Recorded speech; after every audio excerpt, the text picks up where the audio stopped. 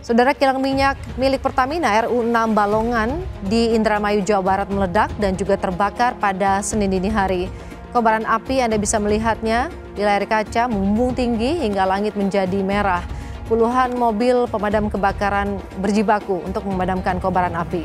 Pertamina Balongan saat ini juga tengah fokus untuk menangani situasi. Aliran minyak langsung dimatikan agar kebakaran tidak meluas. Pertamina juga telah menyiapkan tempat evakuasi bagi pengungsian bagi warga sekitar. Begitu ada ledakan dua kali, langsung kita keluar lihat api udah udah gede kayak gitu. Ya udah itu itu aja. Itu apa namanya? Tangki. Ya, area Pertamina. Pengeboran. Iya. terkait insiden eh, kebakaran tangki 301 yang sudah terjadi dini hari tadi. Telah eh, terjadi insiden kebakaran di tangki antisipasi agar tidak menjalar ke area lain, maka kami langsung melakukan normal shutdown kepada kilang ini. Untuk itu, jadi kami mohon masyarakat juga tidak perlu panik dengan isu-isu yang ada sehingga uh, ada panik buying dan sebagainya itu tidak perlu karena pasokan tetap berjalan aman dan lancar. Apakah komut akan dicopot atau dirut nggak dicopot? Itu Pak Menteri bilang nggak ada yang copot-copot. Silakan selesaikan. Kami support, kami support komisaris, kami support direksi untuk memperbaiki Pertamina. Kalau kamu mau jadi orang yang great, yang besar, yang hebat, kamu mesti siap disalah mengerti orang lain, kira-kira gitu. Jadi Ahok ini kan tipe yang orang yang memang memerangi patologi normalitas. Kalau kamu bisa dimengerti orang lain, mah kamu gak akan jadi sesuatu yang beda gitu loh. Pak Erick itu memang banyak banget mengkritisi Pertamina gitu. Makanya kita dorong nih Pertamina untuk semakin baik. Nah ini jadi buat saya, ini susah sekali di posisi seperti ini. Kenapa? Kita kencengin, mereka tuh ngeyel, ngeles. kontennya diterima masukannya Pak Ahok, Ahok. bagus ya. Kenapa ada lu kita jadi masalah gitu? Alasannya ngomong kasar, ngomong apa bukan. Asal transparansi saja kamu nggak suka. Ngomong apa adanya kamu nggak suka. Pak Ahok itu melihat Pertamina udah pun mabuk sendiri mungkin dia. Kita lihat semuanya lebih mabuk lagi. Saya ingin pengelolaan tata kelola manajemen yang ada di BUMN diperbaiki. Nah inilah kita ini terlalu banyak oknum. Kita cuma disuruh yang Menteri BUMN ngawasin. Kalau ditanya lebih efektif mana, dari awal saya sudah bilang, kalau mau eksekutor ya saya jadi dirut. Tapi persoalannya kalau saya jadi dirut, ribut. Kadrun-kadrun mau demo, mau bikin gaduh lagi republik ini gitu loh. Komisaris di BUMN itu sebetulnya itu ibarat neraka lewat surga belum masuk. Di sini suruh pecat direktur utama, direktur SDM ngeyel nggak mau pecat langsung. Alasan belum ketemu bukti. Ada yang ngatain saya tai, disebarin di WAG semua. Ngatain saya macam-macam. Ini pegawai nih. Saya bilang itu ada sanksinya, ada pasalnya. Dia balas saya betul nggak? Bapak tuntut dulu di polisi. Udah dapat tuntut, udah boleh pecat. Ikut main. Ada dapat komisi, dapat fee. Pak dibayar oleh negara sebagai komisaris utama Pertamina bekerja bukan ngebacot di luar. Dari awal banyak sekali pernyataan Pak Ahok itu yang memberikan citra negatif sebenarnya kepada Pertamina. Masalah karena mulut Pak Ahok yang menjadi viral. Komutnya kebanyakan bacot, kebanyakan ngomong, bukan kebanyakan kerja gitu loh. Pak Ahok tuh bisa ngancam-ngancam direktur SDM. Saya bisa copot Bapak sebagai direktur SDM. Bahwa pernyataan Pak Ahok ingin membubarkan Pertamina itu adalah pernyataan maladministrasi. Dia bilang saya komisaris rasa dirut. Saya bilang enggak, saya dirutnya Rukomut. Saya bilang. Presiden nggak teriak-teriak bangun kilang, perbaharui kilang. Presiden bilang lima tahun lewat gitu aja tuh, nggak ada yang dibangun. Saya minta kilang ini segera dibangun. Tapi sampai detik ini dari lima yang ingin kita kerjakan satu pun nggak ada yang berjalan. Pejabat kita kan dari Pertamina, di Migas kan nggak bodoh semua, dokter, profesor semua. Tapi kita nggak ngerti. Yang jelas barangnya nggak jadi kan. Sudah 34 tahun kita nggak bisa membangun kilang minyak. Kebangetan. Lima tahun Pak Jokowi kan nggak ada yang jadi. Untung Presiden kepilih kedua kalinya, bisa ngegas lagi. Saya suruh kawal betul, akan saya ikuti terus juga progresnya, persentasenya sampai sejauh mana. Iya dong, kalau mau lawan orang-orang brengsek ya mesti jadi penguasa lah. Takut.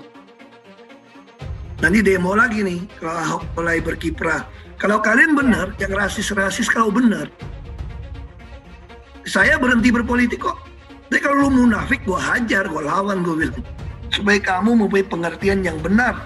Sama seperti saya mempunyai pengertian benar tentang Allah. Kemudian menista agama lagi. Kan Arab kan dianggap khusus. Jadi orang bilang, eh Cina kafir.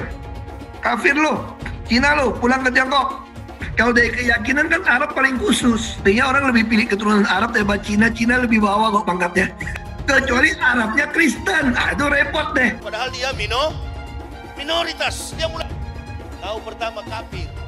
Kedua goblok. Kitab Bible Kristen itu bohong. Saya bukan mengatakan Bible Kristen fiksi. Bible Kristen itu palsu. Hai teman-teman, saya mau memperlihatkan transaksi saya hari ini lakukan trading. Ini bukti transaksi saya setiap bulannya saya melakukan penarikan ratusan juta rupiah. Semua keuntungan dalam melakukan trading dan investasi bisa kalian pelajari dari kelas trading. Kalau saya bisa, kalian juga bisa guys. Oke, itu yang mau saya tunjukkan. Like video ini sekarang juga dan gunakan link di kolom deskripsi. Bukan cuma itu saja, transaksi tidak dikenakan fee, baik itu investasi saham, trading forex, komoditas, bitcoin, binary option, dan lainnya. Untuk melakukan trading atau investasi, langkah pertama adalah membuka account, pilih saham, tentukan jumlah investasi, lalu beli. Setelah nonton video ini, ayo buka sekuritas hari ini, gratis, cepat, dan simple. Pastikan gunakan link di kolom deskripsi untuk mendapatkan kelas trading dan bantuan registrasi. Gunakanlah 10.000 dolar di akun virtual untuk latihan. Promo kelas trading bisa kalian dapatkan jika deposit di bulan ini. Selamat menonton guys, enjoy! Hai semua, dengan saya Jonas Leong. Terima kasih banyak buat kalian, penonton setia yang selalu menonton di channel ini. Saya secara personal sangat menghargai waktu kalian. Dan saya sudah menganggap kalian sebagai family karena kalian selalu support di channel ini. Bagi kalian yang selalu menuliskan opini kalian di kolom komen, saya baca komen kalian satu persatu. Saya baca komen kalian untuk mengetahui opini kalian, tanggapan kalian, dan masukan kalian sangat berguna untuk video selanjutnya. Terima kasih banyak buat kalian yang selalu menekan tombol like di awal video. Video seperti ini membutuhkan waktu dan juga research. Dan ini semua gratis untuk kalian. Jadi pastikan kalian menekan tombol like-nya supaya saya mengetahui kalian menyukai konten yang saya bagikan. Terkait insiden uh, kebakaran tangki 301 yang sudah terjadi dini hari tadi. Baik, uh, saya ingin menyampaikan beberapa poin uh, yang mungkin perlu diketahui oleh seluruh uh, masyarakat. Yang pertama bahwa uh, pada jam 00.45 dini hari tadi telah uh, terjadi insiden kebakaran di tangki T301 di area kilang Balongan. Antisipasi agar tidak menjalar ke area lain, maka kami langsung melakukan normal shutdown kepada kilang ini sehingga kita pastikan ada pengendalian arus minyak dan mencegah terjadinya perluasan kebakaran. Bapak Ibu, untuk penyebab kebakaran tersebut belum kita ketahui dengan pasti. Jadi sampai saat ini kami masih melakukan investigasi uh, dibantu oleh pihak-pihak berwenang sehingga uh, fokus kami hari ini adalah untuk uh, me menyelesaikan kondisi darurat di lapangan. Kami uh, dapat sampaikan beberapa hal terkait uh, fokus yang akan dilakukan oleh tim kami. Jadi pada dini hari tadi, eh, Direktur Utama PT Kilang Pertamina Internasional sudah langsung berangkat ke lapangan untuk memimpin langsung penanganan di lokasi. Jadi kami saat ini fokus pada penanganan insiden di mana Pertamina mengerahkan seluruh daya upaya untuk melakukan offensive fire handling dan kami tentu saja berkoordinasi dengan seluruh pihak, baik internal Pertamina Group maupun dengan pihak eksternal di pusat maupun di daerah. Kami melibatkan kepolisian, pemerintah daerah. Api telah dapat dilokalisir di dalam banwall. Jadi di sekitar tangki ini ada tanggul. Nah, api sudah bisa uh, kita lokalisir di sana. Uh, dan untuk pemadaman kami menggunakan foam ke perimeter banwall dan juga pusat nyala api. Sehingga dengan demikian kita pastikan bahwa api tidak akan menjalar ke, da, ke, da, ke area lain gitu ya. Dan untuk mencegah uh, pen, uh, apa namanya uh, api itu ke daerah lain, kami juga melakukan pendinginan di area sekitar. Untuk penanganan ini ada 10 uh, mobil, uh, mobil pemadam kebakaran yang kita operasikan dan ini uh, damkar ini dari Pertamina Group dan juga dari Pemda Cirebon dan Indramayu. Jadi dari seluruh Pertamina Group baik Pertamina Pusat uh, maupun Pertamina EP dan juga uh, dari Mortiga serta Politama ini mengerahkan damkarnya. Di mana uh, sebagian besar ini sudah berhasil uh, ditangani dan juga sudah kembali ke rumah masing-masing. Uh, namun masih ada lima orang korban yang masih ditangani di rumah sakit. Alhamdulillah tidak ada uh, korban jiwa pada insiden ini. Mohon kepada uh, warga di sekitar untuk tetap tenang dan menjauhi lokasi kebakaran. Dan untuk memastikan itu, uh, kami mohon maaf juga karena kami lakukan pemblokiran jalan di sekitar lokasi kejadian yang dibantu oleh uh, PLI, uh, Polri dan juga TNI. Dan tentu saja bagi kami keselamatan masyarakat di sekitar kilang adalah menjadi uh, prioritas utama. Dan untuk itu kami telah melakukan evakuasi dan menyiapkan posko pengungsian berikut tim medis. Uh, namun berita terkini uh, sebagian masyarakat telah berangsur-angsur pulang kembali ke uh, rumahnya dan ini terus akan kita pantau dan monitor. Kita pastikan uh, tidak ada uh, unsafe condition bagi masyarakat di sekitar kilang. Hal lain adalah uh, kaitannya dengan uh, supply BBM. Dengan kejadian ini, maka kami akan memastikan bahwa pasokan BBM aman. Karena sebetulnya dalam pola supply ini kami memiliki senario ketika uh, dalam kondisi harus beroperasi secara uh, emergensi sekalipun. Sehingga apa yang kita lakukan adalah kita mengoptimalkan produk dari kilang-kilang lain dan kita akan uh, salurkan langsung ke daerah-daerah yang selama ini disuplai dari Balongan, yaitu di daerah uh, Jakarta dan juga Cikampek. Jadi kami pastikan sekali lagi kepada masyarakat tidak ada kendala di dalam supply uh, eh, BBM ini.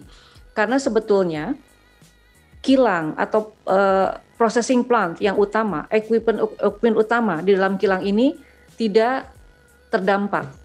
Jadi kebakaran itu hanya di uh, daerah tangki saja.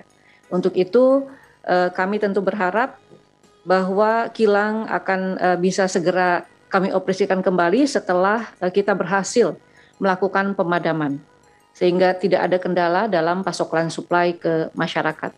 Untuk itu, jadi kami mohon masyarakat juga tidak perlu panik dengan isu-isu yang ada sehingga uh, ada panik buying dan sebagainya itu tidak perlu karena pasokan tetap berjalan aman dan lancar. Selamat pagi, salam sejahtera untuk kita semua, Bapak, Ibu, saudara-saudari, rekan-rekan semua yang kami hormatin. Uh, melanjutkan apa yang disampaikan oleh Ibu Dirut, uh, kami akan uh, memberikan update mengenai stok nasional BBM. Bapak Ibu sekalian, kami sampaikan bahwa kondisi stok nasional sangat-sangat aman. Jadi kami minta sekali lagi seperti disampaikan Bu Dirut, masyarakat tidak perlu panik karena stoknya luber. PT Pertamina RU 6 Balongan dibangun pada tanggal 1 September 1990 yang dinamakan proyek EXOR atau Export Oriented Refinery. Lokasi Indramayu dipilih karena relatif dekat dengan konsumen bahan bakar minyak terbesar, yaitu Pulau Jawa yang mengonsumsi BBM 65% dari kebutuhan nasional dan 80% dari kebutuhan Jakarta. Selain itu, tersedianya lahan yang dibutuhkan, di antaranya bekas sawah yang kurang produktif dan harga tanah saat itu yang masih relatif murah serta jauh dari keramaian. Keberadaan RU 6 Balongan sangat strategis bagi bisnis Pertamina maupun kepentingan nasional.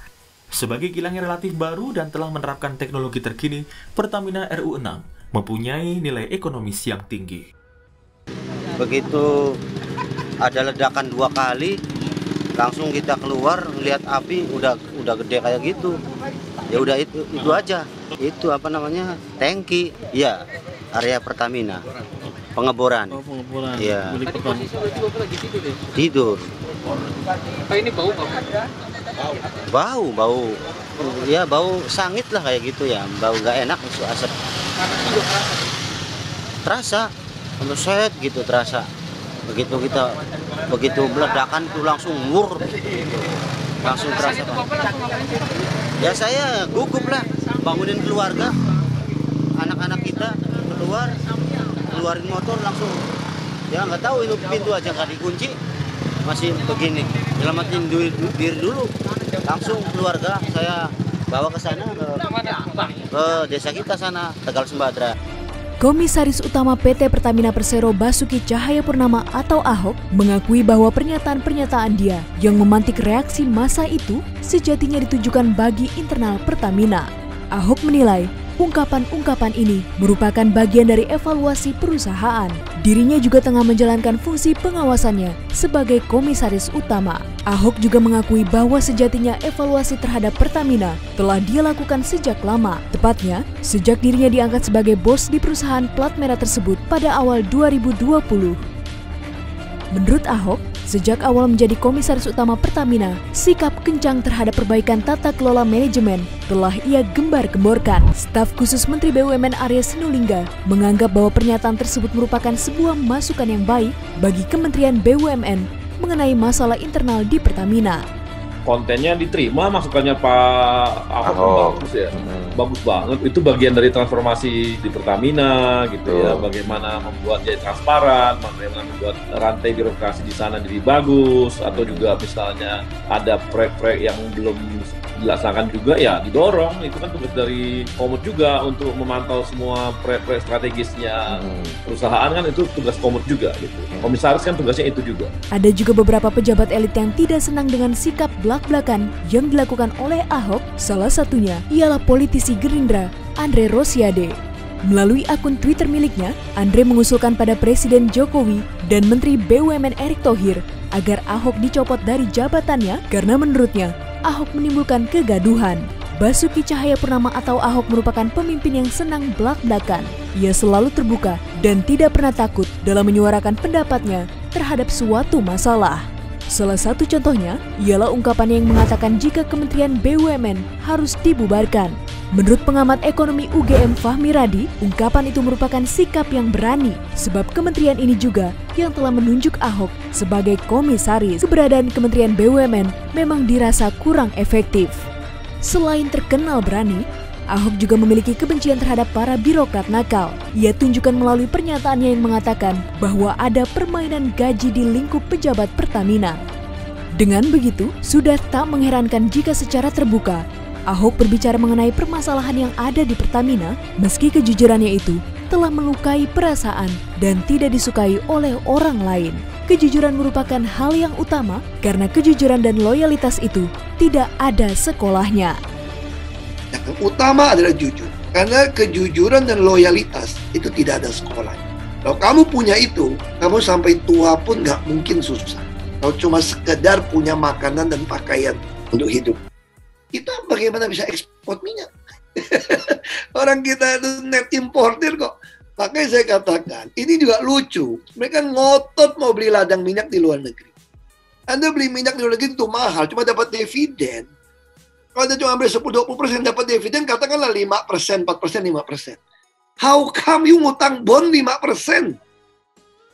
Bagaimana Anda minta pinjaman uang 5 persen, lalu beli sesuatu ngarapin dividen 5 persen? Kalau dibagi dividen, kenapa tidak berpikir untuk eksplorasi? Kita masih punya 12 cekungan yang berpotensi punya minyak, punya gas. Itu ngapain di luar negeri gitu loh. Ini jangan-jangan saya pikir ada komisi kali ini beli-beli minyak di luar. Sama kayak LNG. Sudah tahu laporan dari konsultan 2017-18. LNG akan drop. Apalagi ada sales gas dari Amerika gitu ya murah, tinggal Anda ambil. Lalu mereka kontrak sampai 40 berapa ya? 45 tahun. Dengan nilai 34 miliar dolar. Gendeng kan? Dan nggak bisa dibatalin.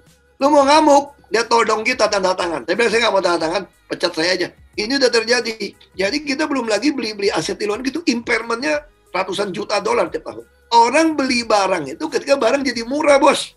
Saya bilang, saya baca ajaran Warren Buffett aja tahu kok. Cuma baca buku aja ngerti kok. Ini enggak, Pertamina beli orang lagi turun, dia beli paling tinggi itu harganya tuh. Ini ada apa? Bangun kilang juga sama. Bangun kilang itu kan ibarat Anda tuh punya mobil Formula 1, Formula One, mana boleh pakai sopir go-kart yang bangun, bos? Bagaimana Anda bisa lelang yang menangnya Korea SK yang bangun di roba yang lead sekarang Rekin, rekayasa industri, BUMN kita. Makanya My Pertamina itu saya lagi push, ini juga sangat mengecewakan. Saya bilang, harusnya semua itu non tunai. Makanya Januari saya sudah paksakan semua SPBU non tunai. Ada beberapa masih menolak. Dan saya sudah paksakan uang promosi harus ditambah di My Pertamina.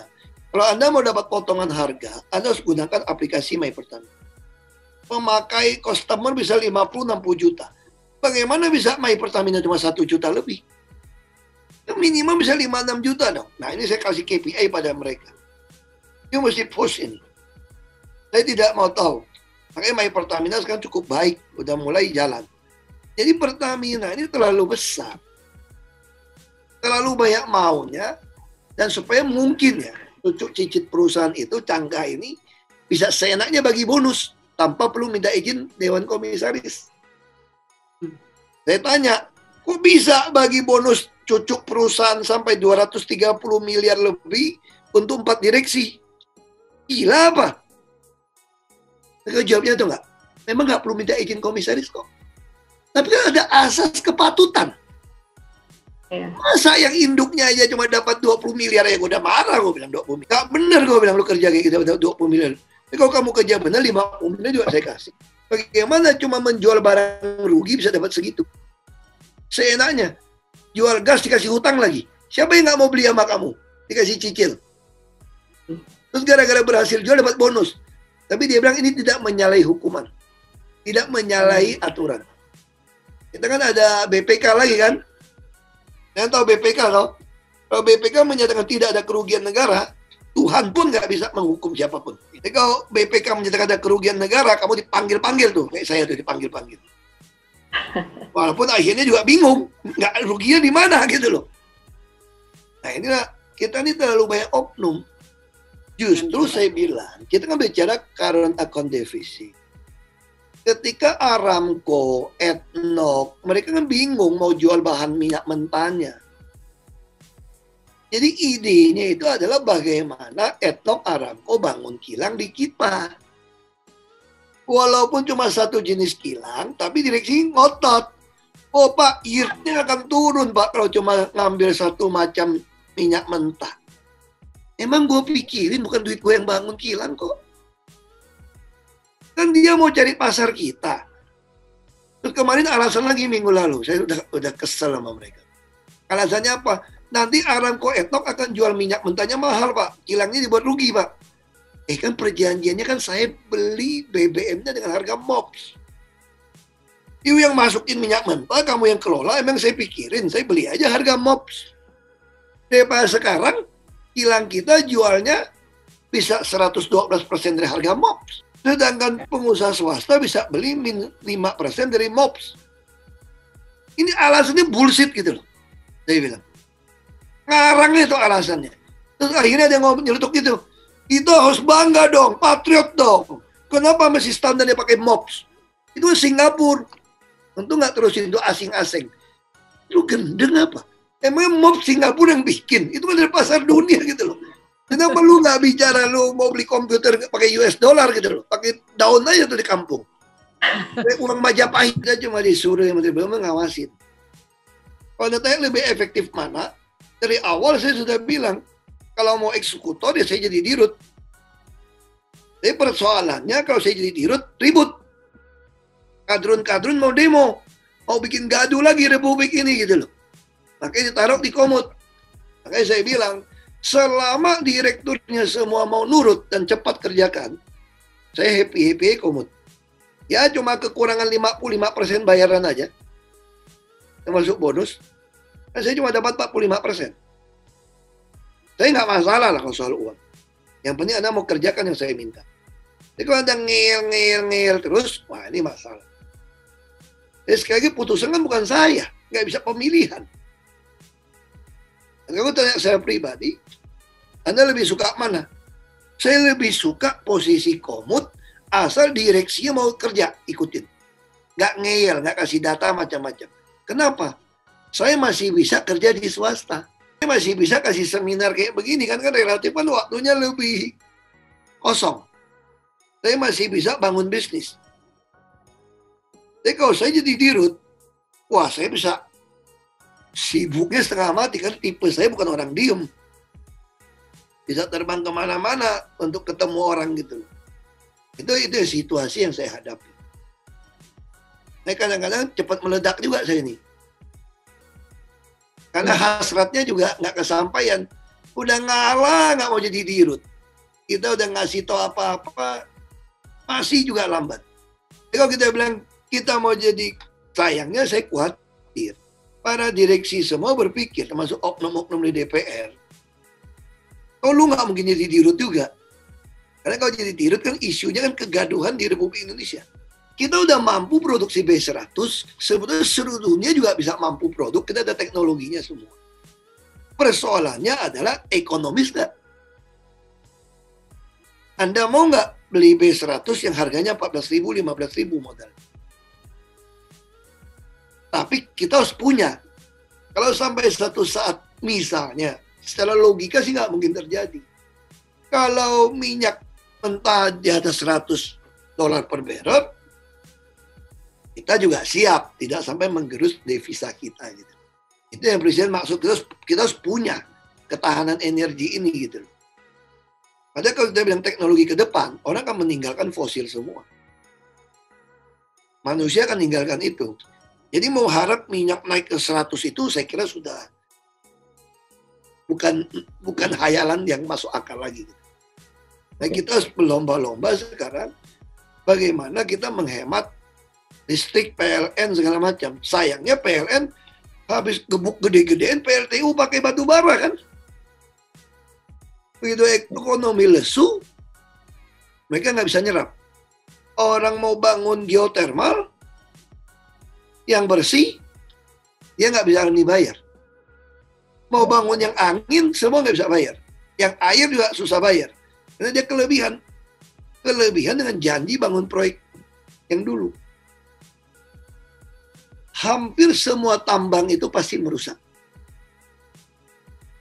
Makanya secara bertahap kita mulai mengevaluasi mana yang sumur-sumur tua yang harusnya sudah ditutup dia masih punya penghasilan, itu kita mau kerjakan dulu sebelum ditutup. Ini pun masih ada persoalan juga soal tutup-tutup sumur-sumur yang ada ini. Yang pasti semua kajian lengkap. Tinggal kita penegakan hukum mau lakukan atau tidak. Kita bukan menghilangkan kerusakan, meminimalisasi kerusakan. Tidak mungkin namanya tambang itu Anda balikkan kembali. Kalau kita lihat dunia kita, Dulu mungkin 10 ribu tahun juga belum bergeser. Kadang-kadang dunia ini nggak ada manusia lebih hebat sebetulnya. Ini kan tanpa manusia lebih bagus memelihara alamnya. Nah sekarang hitungan umur manusia bisa merusak alam nih. Jadi bagi kita Pertamina, CSR bagi saya nggak cukup. Bagaimana Anda meminimalisasi, gimana menghasilkan kerusakan ini bisa kasih kesejahteraan orang.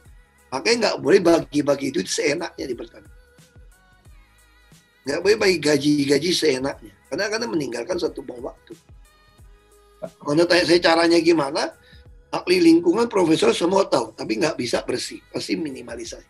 Pertamina ini semua punya. Karena kita bayar konsultan satu setengah triliun satu tahun. Ini saya potong-potong ini. Jadi kalau jadi direksi Pertamina itu bodoh aja bisa bisa ngomong tau gak? Karena konsultan yang bikinin semua. One Village, One SPBU, mana pernah dikerjain? Alasannya duit, minjem duit lagi, minjem duit. Sekarang udah ngutang 16 miliar dolar. Tiap kali otaknya minjem duit aja nih, saya udah kesel ini. Minjam duit terus mau akuisisi terus lagi. Saya bilang, gimana cara ngatasi itu? Kita ingin tiap desa itu punya peta, peta shop karena kita berbicara logistik supply chain ke depan. Kalau kita berbicara tentang electric vehicle, tentu ini urusan BUMN ya. Kita akan join dengan Min ID, dengan PLN. Ini bicara jaringan gitu loh. Kalau Anda bisa motor semua bisa tukar-tukar aki, kita bisa produksi, kita bisa punya supply chain yang baik. Tapi bukanya kan biaya. Makanya saya menggandeng Mendagri. Karena saya pernah di DPR RI kan. Saya tahu tiap desa itu dapat duit. Bingung pakai duitnya. Eh, saya bilang sama orang desa, lebih baik Anda buka petrol shop. Saya jadiin kamu agen minyak dan agen gas. Termasuk kamu bisa punya jaringan untuk produk-produk sembako dan lain-lain nanti untuk membantu uh, rakyat mendapatkan barang dengan baik. Dan saya juga lagi nekan sekarang, tapi memang lambat ini direksi ini. Saya udah nggak sabar. Di Amerika Anda punya 911 kan? Indonesia tuh nggak punya. Kami bisa menyediakan 135 nama sebetulnya. Kita kerjasama dengan Telkom, tinggal tambah seat. Saya pengen seluruh rakyat Indonesia. Anda butuh apa aja, Anda telepon 135. Nanti saya akan Pertamina ngatur. Kirimkan menjadi despot-despot kepada pemerintah daerah yang ada. Dan rakyat akan melihat Pertamina Shop itu sebagai tempat berkumpul. Tempat komunitas pasangin dengan wifi yang baik, itu dia bisa tempat belajar, tempat perekrutan orang yang baik juga sebetulnya. Jadi yang penting logistik supply chain harus kita lakukan. Tentu orang akan meninggalkan fosil, Indonesia nggak secepat itu. Nah kita berharap Pertamina seperti apa? Tapi Pertamina nggak mungkin go public. Makanya kita bagi ke sub holding sub holding. Kita kalau berbicara market cap 100 miliar dolar. Kalau Anda tidak pernah IPO, bagaimana tahu market cap Anda gitu? Dan itu kan jadi profesional. Jadi Pertamina anak perusahaan cucu perusahaan nggak perlu menguasai mayoritas. Yang penting punya hak suara. Ini baru akan jadi profesional. Kita mau jadi konglomerat. Cita-cita saya itu Pertamina adalah satu contoh model untuk seluruh SOE yang ada. Jadi kita harus masuk seperti itu dan Kementerian BUMN harus dibubarkan sebelum Pak Jokowi turun sebetulnya. Kita sudah ada semacam Indonesia Incorporation, macam Temasek itu dalam konsep pemikiran yang kita bawa. Ini mudah-mudahan belum dipecat aja gitu loh. Karena mereka udah anggap saya ini membuat kegaduhan di dalam. Komisaris di BUMN itu sebetulnya itu ibarat neraka lewat surga belum masuk. Kenapa saya katakan seperti itu? Karena keputusan RUPS menentukan KPI semua itu di Kementerian BUMN. Harusnya Kementerian BUMN itu dibubarkan sebetulnya. Kita harus membangun semacam temasek semacam Indonesia Incorporation. Jadi persoalannya presiden nggak bisa mengontrol manajemen BUMN. Kita nggak ada orang sebetulnya. Ini BUMN gitu besar, sudah beranak cucu, cicit sampai cangga, aduh udah seenaknya di bawah itu. Bagi bonus seenaknya. Kita nggak bisa kontrol lagi nih, karena kita nggak punya orang. Nah makanya sebenarnya kita harapkan masuk dalam di Pertamina ini, kita bisa mendapatkan sumber daya manusia gitu.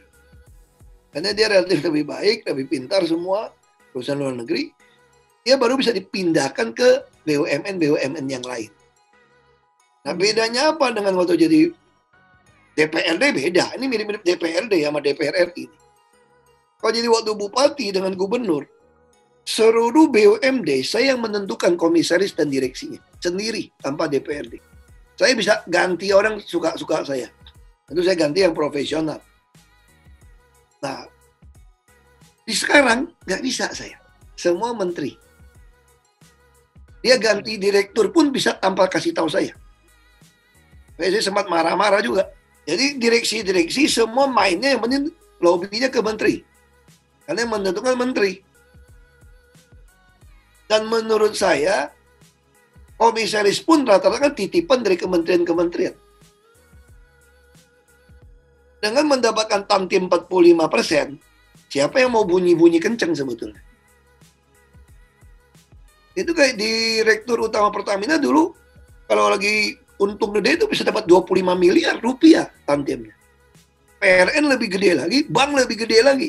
Kalau kita bandingkan dengan perusahaan sejenis, ini underdog gitu loh. Tapi yang menentukan Kementerian BUMN. Nah ini jadi buat saya, ini susah sekali di posisi seperti ini. Kenapa? Kita kencengin, mereka tuh ngeyel, ngeles. Dia kasih kita secuil-secuil, data secuil-secuil. Saya udah sempat marah kemarin. Lalu apa yang berjaya sekarang? Saya potong jalur birokrasi. Hai teman-teman, saya mau memperlihatkan transaksi saya hari ini lakukan trading. Ini bukti transaksi saya setiap bulannya saya melakukan penarikan ratusan juta rupiah. Semua keuntungan dalam melakukan trading dan investasi bisa kalian pelajari dari kelas trading. Kalau saya bisa, kalian juga bisa guys. Oke, itu yang mau saya tunjukkan. Like video ini sekarang juga dan gunakan link di kolom deskripsi. Bukan cuma itu saja, transaksi tidak dikenakan fee, baik itu investasi saham, trading forex, komoditas, bitcoin, binary option, dan lainnya. Untuk melakukan trading atau investasi, langkah pertama adalah membuka account, pilih saham, tentukan jumlah investasi, lalu beli. Setelah nonton video ini, ayo buka sekuritas hari ini, gratis, cepat, dan simple. Pastikan gunakan link di kolom deskripsi untuk mendapatkan kelas trading dan bantuan registrasi. Gunakanlah 10.000 dolar di akun virtual untuk latihan. Promo kelas trading bisa kalian dapatkan jika deposit di bulan ini. Selamat menonton guys, enjoy! Makasih banyak buat kalian yang nggak skip dan nonton video ini sampai habis. Saya secara personal sangat menghargai waktu kalian. Makasih banyak buat kalian yang sudah tekan tombol subscribe dan makasih banyak buat kalian yang sudah tekan tombol loncengnya. Jangan lupa bagikan informasi ini ke teman atau family Anda. Mungkin teman atau family Anda membutuhkan investasi ini. Oke guys, sekian dulu dari saya. Jangan lupa follow Instagram saya di @johannesleongofficial untuk kata-kata motivasi setiap harinya. Bagi kalian yang termotivasi nonton video ini, ayo like video ini dan subscribe di channel ini. Dan buat kalian yang sudah subscribe di channel ini, jangan lupa tekan tombol loncengnya supaya kalian mendapatkan notifikasi setiap kali saya upload video.